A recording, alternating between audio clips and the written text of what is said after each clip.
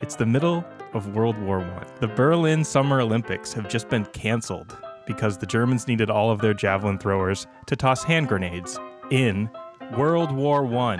In New York City, a man named Rodman Wanamaker invited a group of spiffy, influential men to a luncheon in the Wanamaker department store building.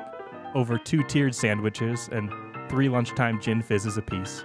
This group of sauced up slicers were thinking about tee times instead of landmines, bogeys instead of bayonets, tournaments instead of tourniquets. And when the olives settled, they had come up with an idea so great they wouldn't need to think about World War I because it was on this day a group of drunk drivers of the golf ball developed the idea for the Professional Golf Association of America, now known as the PGA. What?